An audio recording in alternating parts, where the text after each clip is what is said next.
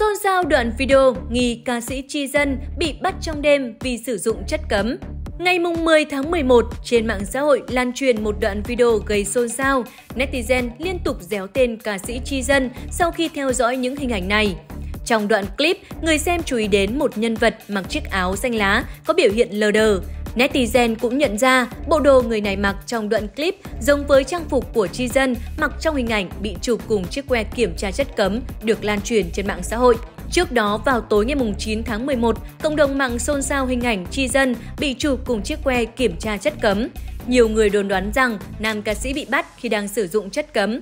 Theo nguồn tin, ca sĩ Tri Dân bị lực lượng chức năng kiểm tra, phát hiện nghi vấn có liên quan đến chất cấm tại một địa chỉ ở quận Tân Bình. Hiện công an đang mở rộng điều tra, chưa cung cấp thêm về kết quả xử lý.